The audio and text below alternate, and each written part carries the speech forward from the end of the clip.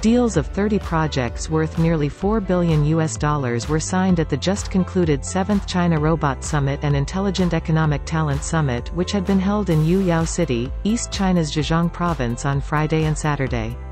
According to organizers, contracts totaled 25.2 billion yuan, about 3.9 billion US dollars, the highest since the summit was launched in 2014.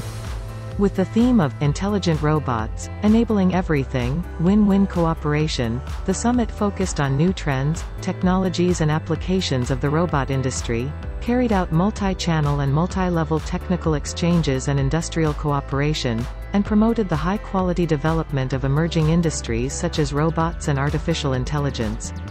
The China Robot Summit is one of the largest and most influential robot summits in China.